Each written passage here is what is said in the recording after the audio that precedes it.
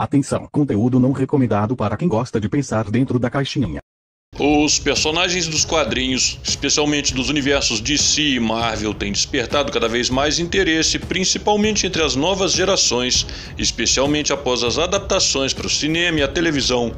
A maioria desses super-heróis é representado como norte-americanos, porém, entre eles aparecem super-heróis de outras nacionalidades, como canadenses, russos, gregos, egípcios, etc. Neste vídeo, vamos conhecer mais um grupo de personagens, desta vez de um país que tem se revelado uma verdadeira pátria de heróis. Olá, eu sou o professor Neomar Nepomuceno, aficionado por quadrinhos, animação e cultura pop em geral, e nesse vídeo vou apresentar os 10 super-heróis ucranianos dos universos DC e Marvel. Antes de mais nada, peço que ao final deste vídeo, caso tenha gostado, deixe o seu like para eu saber o interesse do público por esse tipo de conteúdo e compartilhe se esse trabalho merece ser valorizado com a sua divulgação. A lista de heróis ucranianos da Marvel começa com um mutante. Johnny Doe era um jovem mutante e autista de nível severo que inicialmente foi mantido na instalação russa chamado Projeto Siberiano.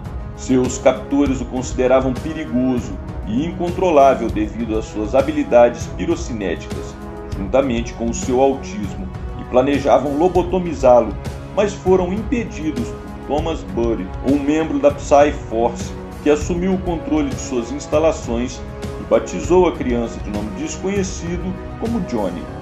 Pouco depois, Johnny e outros membros da Psy-Force tornaram-se agentes autônomos da organização secreta conhecida como Medusa Web. Outro mutante ucraniano é Theon Masik, conhecido como Primal. Ele é um dos cinco luzes, um dos cinco novos mutantes a surgir desde o dia M. Theon possui olfato e reflexos aprimorados, uma mira excepcional e um instinto animalesco. Primal emite sons animalescos compreende apenas palavras simples, como lutar, fugir, acasalar, comer, etc., comunicando-se mais efetivamente apenas com Wolverine. Seus hiperinstintos o tornaram capaz de encontrar soluções para qualquer ameaça que esteja enfrentando, desde encontrar recursos até expandir sua força ou desenvolver o intelecto conforme a necessidade de sobrevivência. Ele está atualmente matriculado na escola Jean Grey para ensino superior. Nascida na província de Chernobyl, Yekaterina não é necessariamente uma super-heroína, embora tenha ajudado o Homem-Aranha contra o vilão Electro. Uma mutante metamorfa, após mudar-se para Nova York, passou a trabalhar como acompanhante, graças ao seu poder de se transformar em qualquer fetiche que seus clientes lhe apresentem e Ekaterina conhece muitos segredos do mundo do crime, uma vez que muitos dos supervilões são seus clientes, inclusive Max Dillon, conhecido como Electro.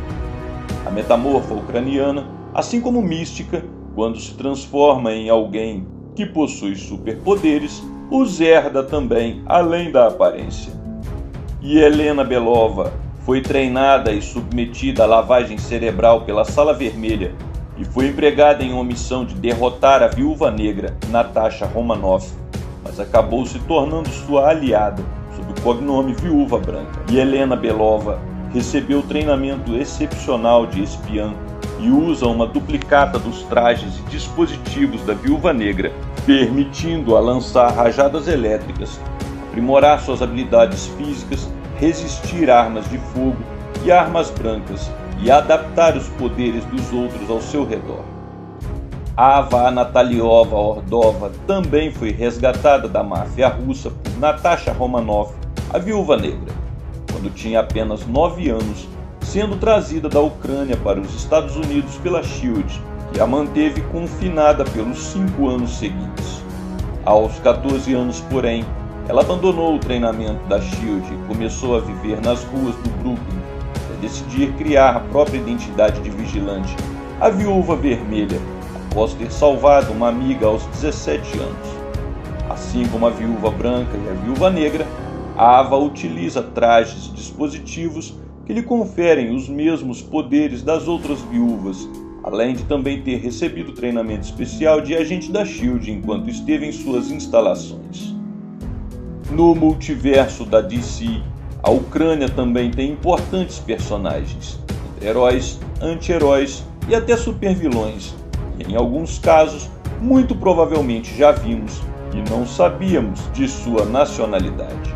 Apesar de seu nome e cabelo ruivo, o irlandês do Esquadrão Falcão Negro não é da Irlanda. Filho de ucranianos que tinham negócios internacionais na União Soviética, o Cabo Costello, projeto Esquadrão Falcão Negro, recebeu o apelido de irlandês por causa de seus cabelos ruivos.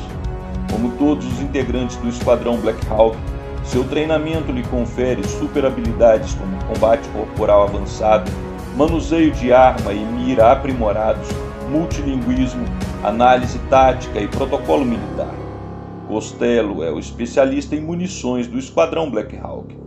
Assim como na Marvel, a DC também tem o seu ucraniano que não é necessariamente um herói. Muito pelo contrário, é um dos principais vilões de Gotham City.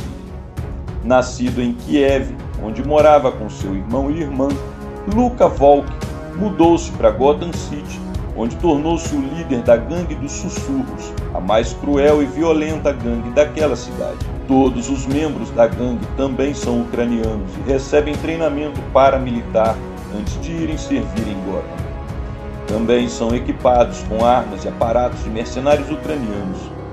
Mestre no uso de armas de fogo, Luca também tem agilidade, resistência e força aprimorados, além de uma privilegiada rede de informações e fornecimento de itens do mercado negro do mundo do crime. Nos tempos da Guerra Fria, a União Soviética, preocupada com o grande número de heróis superpoderosos dos Estados Unidos, decidiu criar a Brigada Rocket Red, ou Foguete Vermelho. Com a ajuda do Lanterna Verde Kilowog, o governo comunista criou um grupo de agentes geneticamente modificados, com força, reflexos e resistência sobre-humanos e equipados com um traje blindado movido a energia solar com propulsão a foguete, capaz de lançar rajadas de plasma e rede elétrica para captura. Fora de sua equipe, Dmitry Pushkin, o Rocket Red número 4, integrou a Liga da Justiça Internacional. A Ucrânia também tem um homem de aço, ou melhor, o camarada de aço. Na saga alternativa conhecida como Superman entre a foice e o martelo, uma nave vinda da própria Terra em um futuro muito distante, no qual nosso planeta tornou-se muito parecido com o extinto exoplaneta Krypton, acabou pousando em uma fazenda coletiva justamente na Ucrânia, então integrante da União Soviética. Ela trazia um bebê chamado Kal-El, filho de Jor-El, um descendente de Lex Luthor, que alimentado com a energia do nosso Sol amarelo, que em sua época já tornou-se vermelho, manifestou todos os poderes já conhecidos do Superman original. Simpático às ideias do Partido Comunista, aos 33 anos ele foi apresentado por Joseph Stalin como a mais nova superarma soviética descrito como o herói do trabalhador comum que luta uma batalha sem fim, Stalin, o socialismo e a expansão internacional do Pacto de Varsóvia. Após a morte de Stalin, ele mesmo tornou-se o novo líder supremo da União Soviética, que a essa época, graças a ele mesmo, já dominava quase todo o mundo, convertendo, sob a sua liderança, em uma sociedade muito parecida com a do extinto planeta Krypton. A última personagem não é necessariamente uma super-heroína, e sim uma humana comum, mas merece ser mencionada por sua importância, já que foi simplesmente namorada de Bruce Wayne. Natalia Trusevich é uma atriz e pianista ucraniana com a qual Bruce Wayne teve um relacionamento sólido, inclusive sendo uma das poucas pessoas a conhecer sua identidade secreta e a ter o franco apoio do mordomo Alfred. Como podemos ver, os personagens dos multiversos DC e Marvel, originários da Ucrânia, refletem muito a imagem que o Ocidente tem daquele país onde nasceu a Rússia, mas que por muito tempo foi um estado vassalo desta e da União Soviética.